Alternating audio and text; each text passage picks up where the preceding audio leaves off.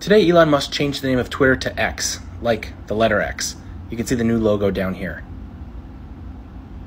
In a recent interview, Musk also had a pretty extraordinary claim about what he sees as the future of the social media platform. Let's watch.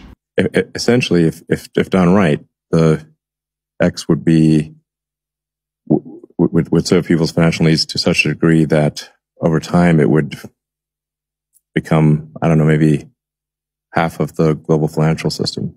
You heard that right. Musk thinks that X could become, quote, half of the global financial system. There's just one small problem. Twitter's lost about half of its advertising revenue since Musk bought it. As a reporter, I'm no stranger to billionaire grandiosity, but this is on a whole nother level. This is like crackhead levels of delusion.